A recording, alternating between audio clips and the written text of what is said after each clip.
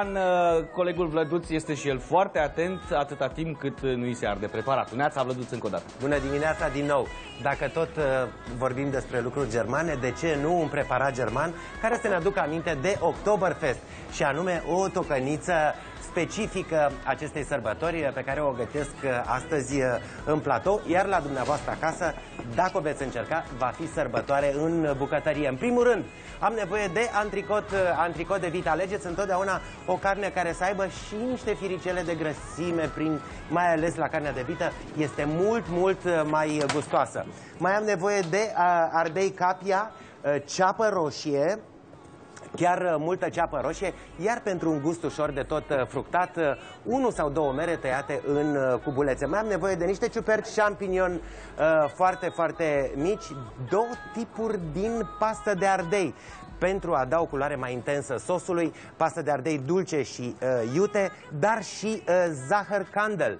Uh, zahăr candel de preferință brun uh, pentru a da o dulceață specifică uh, acestei, uh, acestui tip de mâncare. Uh, Flavia însă aici, în acest mojar uh, cu pistil, uh, face un amestec de condimente care îmi trebuie neapărat la uh, sosul meu și anume uh, am nevoie de chimen, uh, piper și uh, semințe din uh, coriandru. Toate acestea Ai bine... chimenul la tigaie sau lași așa cum? Nu, îl las așa. Flavia trebuie să-l să, -l, piseze foarte, foarte bine, astfel încât să nu uh, îl simțim în sos, pentru că nu este, foarte, nu este foarte plăcut.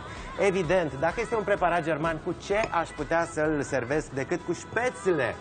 adică niște tăiței specifici uh, germani pe care după ce îi uh, fierb am să-i trag uh, într-o tigaie cu un pic de unt, dar pentru o notă de prospețime am să adaug și câteva frunze din oregano proaspăt. În felul acesta am un preparat ideal pentru ziua de astăzi, dar mai ideal pentru zilele ușor mohorâte de toamnă, un pic mai răcoroase. Da, și uh, să nu uităm uh, cireașa de pe tort, ca să mă exprim așa. Uh, după ce uh, savurați, fără multă pâine, ca să nu ne uh, balonăm, Bă, o bere nepasteurizată de aia, transpirată toată, să zici că a alergat suta în 9,5 secunde, cu două degete de spumă așa să-ți rămână, bă...